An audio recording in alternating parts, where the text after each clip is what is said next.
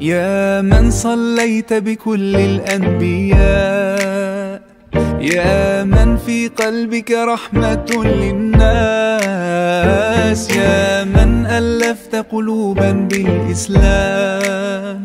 يا حبيبي يا شافعي يا رسول الله بأمي وأبي فديتك سيدي صلاة وسلام. عليك يا نبي حبيبي يا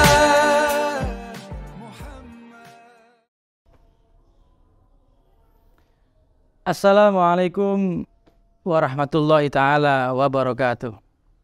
Hamdan wa syukran lillah wassalatu wassalamu ala rasulillah amma ba'du.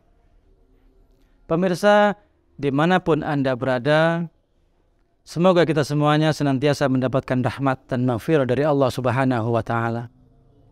Alhamdulillah pada sore hari ini menjelang waktu kita berbuka kita masih diberikan kesempatan oleh Allah untuk merasakan nikmatnya Ramadan.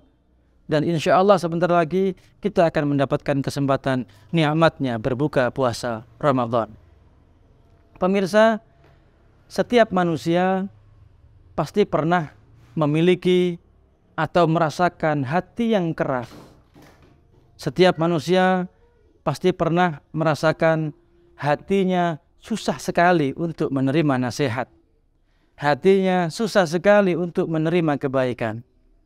Kenapa bisa seperti itu? Manusia yang hatinya keras, manusia yang susah menerima kebaikan, manusia yang susah menerima nasihat adalah manusia yang hatinya sedang tidak baik-baik saja. Adalah manusia yang hatinya sedang sakit. Maka momentum Ramadan ini, setelah nanti kita berbuka puasa, kemudian kita menjalankan sholat tarawih berjamaah, lalu kita menjalankan tadarsul Quran berjamaah, lalu kita harus memanfaatkan malam-malam di bulan suci Ramadan. Karena salah satu yang bisa melemahkan, melemaskan hati manusia, yang bisa menundukkan hati manusia adalah syahdunya malam, khususnya syahdu di malam bulan suci Ramadan.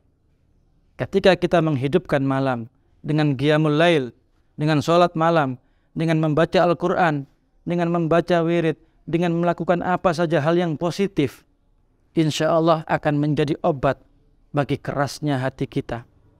Ketika kita mampu mendirikan malam di bulan suci Ramadan, kita mampu mengerjakan qiyamul lail, maka kita sedang mengobati hati kita. Maka kita sedang menjaga hati kita. Maka kita sedang mengupayakan hati kita untuk lebih mudah menerima kebaikan, untuk lebih mudah menerima nasihat. Dikatakan man soma Ramadana. Juga dikatakan man qoma Ramadana. Tidak hanya berpuasa di siang hari, akan tetapi menghidupkan malam hari bulan Ramadan dengan memperbanyak ibadah, dengan keimanan dan ketakwaan penuh hanya kepada Allah Subhanahu wa taala.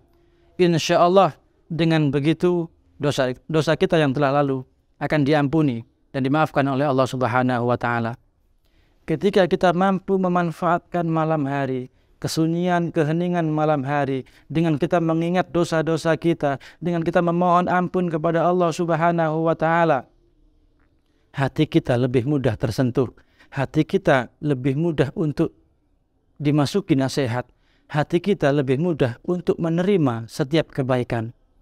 Karena Rasulullah bersabda, di dalam tubuh manusia ada segumpal daging yang mana ketika daging ini baik maka akan baik seluruh tubuhnya dari atas hingga ke bawah. Sebaliknya ketika daging ini buruk maka akan buruk seluruh tubuhnya dari atas hingga ke bawah. Dan daging itu adalah al-golbu, hati. Ketika hati kita kotor, maka kotor pula pandangan kita, kotor pula ucapan kita, kotor pula pendengaran kita. Sebaliknya ketika hati kita baik, insya Allah pandangan kita akan menjadi lebih baik kita akan melihat dan memandang hal-hal yang baik-baik saja. Pendengaran kita juga akan menjadi baik.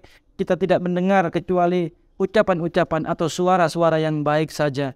Dan tangan kita, kaki kita, seluruh anggota tubuh kita tidak akan mengerjakan kecuali hanya yang baik-baik saja. Insya Allah dengan kita berusaha memanfaatkan malam hari Eman, kalau hanya dibuat tidur saja, maka itu adalah sebuah kerugian yang sangat luar biasa. Pergunakan, manfaatkan malam kita, khususnya malam di bulan suci Ramadan.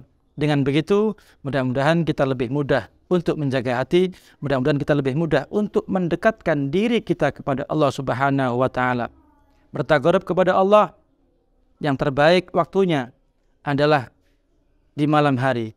Kita bangun di sepertiga malam, kita hidupkan malam kita dengan mengingat Allah, dengan menyebut asma Allah, dengan memperbanyak zikir kepada Allah. Maka dengan begitu kita sedang mengupayakan hati kita menjadi lebih baik. Mudah-mudahan baiknya hati kita akan berdampak kepada kebaikan seluruh tubuh kita dan akan memberikan manfaat kebaikan kepada seluruh umat manusia atau sekeliling kita. Amin ya rabbal alamin. Wallahul muwaffiq ila aqwamit thoriq. Wassalamualaikum warahmatullahi taala wabarakatuh.